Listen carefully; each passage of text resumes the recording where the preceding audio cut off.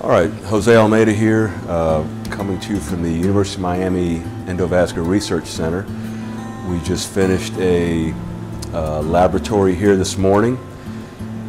and basically today what we wanted to do was to use a swine model uh, for training, uh, training myself, and I brought a uh, colleague with me, Dr. Uh, Tino Pena from the Baptist Cardiac and Vascular Institute here in Miami who's uh, one of our local star radiologists, interventional radiologists. So this is, uh, you know, a collaborative effort between vascular surgery, interventional radiology, or basically just a multidisciplinary approach to a problem. And the concept today was iliocaval venous stenting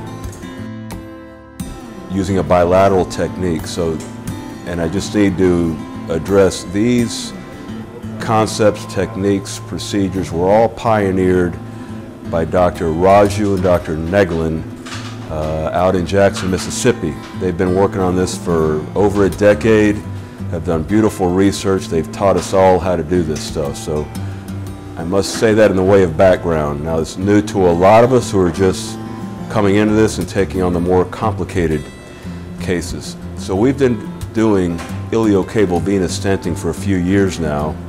And the concept today is that when a patient presents with an existing left iliac stent, for example, and they come in a couple of years later with a right iliac vein stenosis, how does one manage the iliocaval confluence?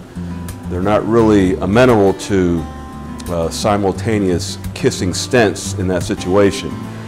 So Dr. Raju Neglén developed the fenestration technique, and that's what we were trying to learn today.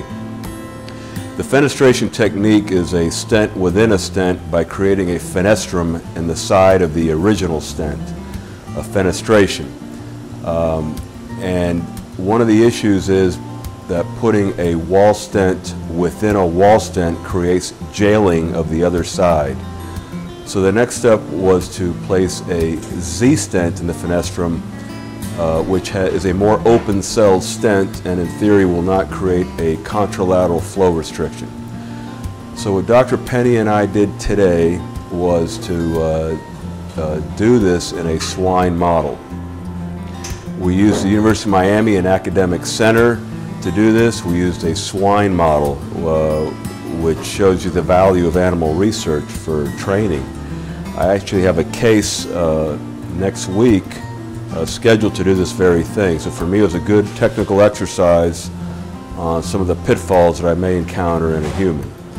Uh, so we, we did use a multidisciplinary approach, and the reason I bring that up is at uh, IVC last year, we wanted to tackle the issue of board certification uh, with this uh, controversial phlebology board. And I think the message that came across, which was not the intention, was that vascular surgeons were the only ones that should be doing vein work. That was not at all the, the message. That's not at all what the lectures were. I think that was the emotional reception of some of what was uh, transpired last year. Uh, the only message was that uh, uh, true training pathway exists for a reason. Formal training exists for a reason to develop advanced skills. So uh, today we uh, use a multidisciplinary approach. Certainly interventional radiology brought some skills today and vascular surgery brought some skills and I think together we, we learned and learned from each other. There's great value there. The other thing that's become uh, uh, come to the forefront much of because of the new law, Obamacare, uh, is this sunshine law. Uh, and basically, the physician industry relationship has been a very valuable relationship for many, many years for innovation. And today we had representatives from Cook Medical, from Boston Scientific, and from Volcano uh, that all participated in the, uh, in, in the uh, exercise. Boston Scientific uh, brought us wall stents, catheter sheath balloons. Cook had the Z stents, and uh, Volcano with the intravascular ultrasound imaging, the IVUS technique.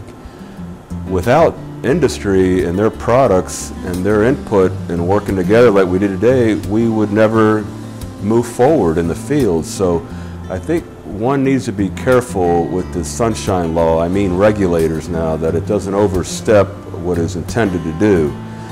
Uh, which is, yes, there's been a few outliers like in any field and anything. There's always the bad apples that seem to spoil it for everybody and then the regulation tends to overextend itself and, and hurt the good people and hurt uh, the good intentions. Uh, today we saw the value of industry working with physicians to solve a problem.